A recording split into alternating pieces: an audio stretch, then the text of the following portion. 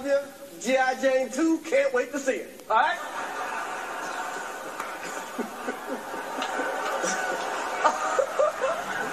that, was a, that was a nice one. Okay. I'm out here. Uh-oh. Richard.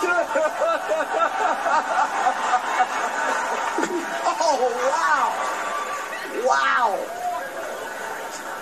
Will Smith just smacked the shit out of me.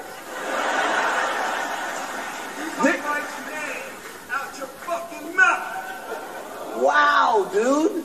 Yeah. It was a G.I. Jane joke. Keep my wife's name out your fucking mouth. I'm going to, okay? So I could, oh, okay. That was uh, greatest night in the history of television. Okay.